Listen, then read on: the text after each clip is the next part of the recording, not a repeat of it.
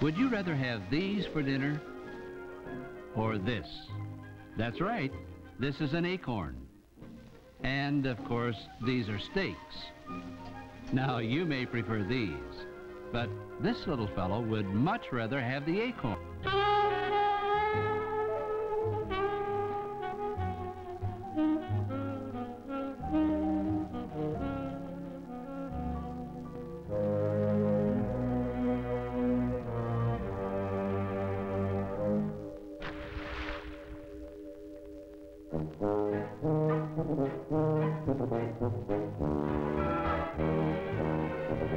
Every living creature has a need for food. But different animals like different things. What they like and how they get it make for a very interesting study. The Creator has given his creatures an almost endless variety of likes and dislikes and ways to get food in order to survive.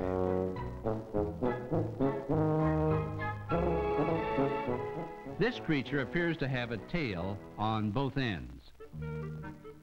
It's an anteater, a name that gives away the secret to his diet, ants and termites. Long, razor-sharp claws make less than ideal walking shoes, but they're just the tools needed for opening the lunchbox. An old tree stump loaded with termites. Digging the insects out of their narrow tunnels would be an impossible task for most animals. But again, the anteater has just the right equipment. A long, slender, sticky tongue. He traps the insects on its adhesive surface. When he pulls his tongue back into his mouth, it's coated with tasty delights. The suspenders, by the way, have nothing to do with keeping his pants up. They just happen to be the unusual markings on a very unusual animal. The strong monkey tail is equally helpful when the anteater decides to dine on a higher level. In some places, the menu is better than in others. The anteater, a remarkable animal given just the right tools to live on a pure diet of insects.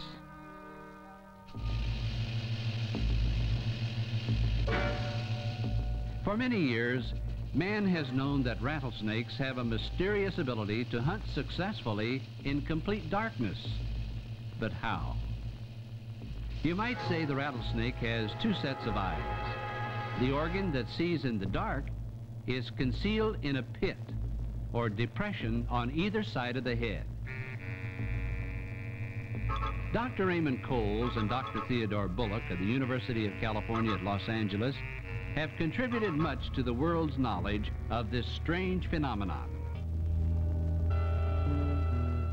The method used to obtain this information is unique and interesting. First, Dr. Cowles milks the rattler of its venom. Then Dr. Bullock puts the reptile to sleep. The snake is actually blindfolded to cut off all visible light. Platinum electrodes are connected to the nerves in the pit organ so the scientists can intercept the signals flashed to the snake's brain. They'll be able to see and hear them as they're amplified through a speaker and recorded on a special graph. The snake is obviously excited by the presence of a human hand. Yes, it's blindfolded, but the second set of eyes lets the snake see the invisible infrared rays coming from the heat of the hand. The rattler isn't the least bit interested in an ice cube. Why? An animal that cold would be dead. Lighting a match in front of the reptile is like turning on a spotlight of infrared rays. A piece of heat-absorbing glass cuts off the rays, and the reaction stops. The pit viper, night prowler of the desert and the mountainsides, uniquely prepared by the Creator to hunt and find food even on the darkest night.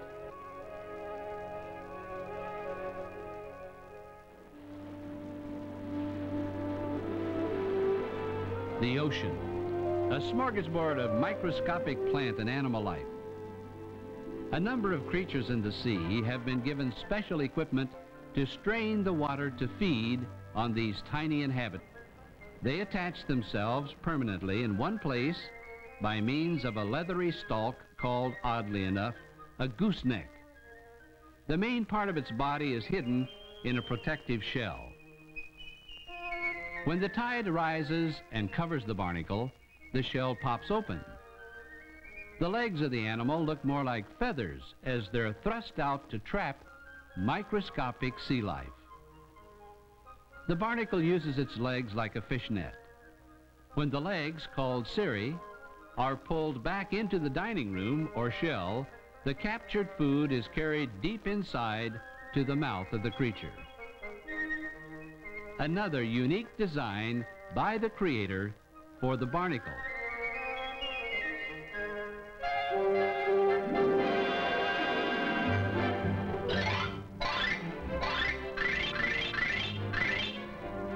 Ever see a fish that spits? It's called the archerfish, and it has a good reason for its strange behavior. It's hunting for food. A stream of water is shot from the mouth. The force knocks the prey right onto the dining room table. The archerfish seldom misses the target. An amazing record since it has a very unusual problem called refraction. Because the fish is underwater, he sees the insect where it isn't. Accuracy is hard to come by. For a fish to make all the split-second calculations necessary to hit the target would seem almost impossible. Yet the archerfish does it again and again and again. Another creature given something special by the Creator.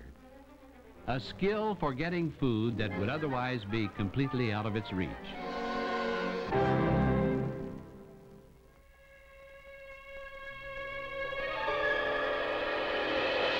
The chameleon is the only animal in the world that can lasso its food more than a body's length away without moving anything but its tongue.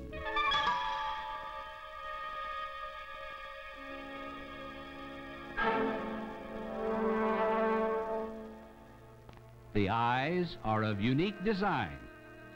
A close look shows they're mounted in ball turrets.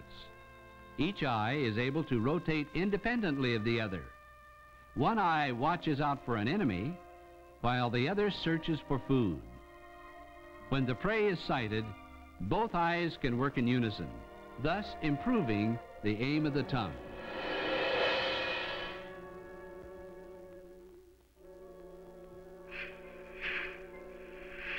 The skin of the chameleon is unique too. Not only does it protect the animal, the amazing cell structure of the skin lets the reptile change color at a moment's notice.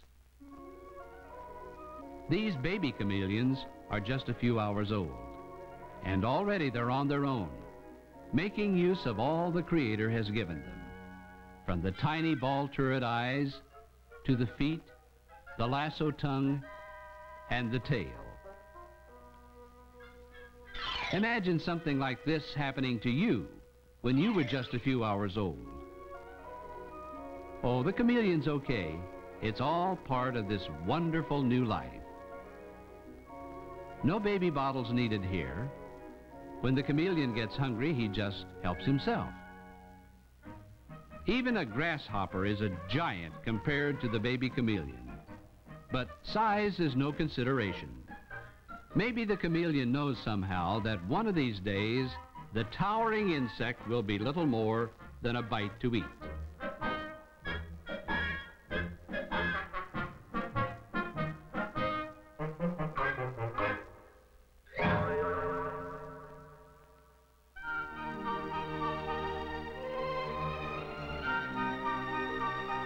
Everywhere in nature, we see the unmistakable evidence of the Creator's imaginative handiwork. The eating habits of animals give just one more demonstration of his design and thoughtfulness for life on Earth.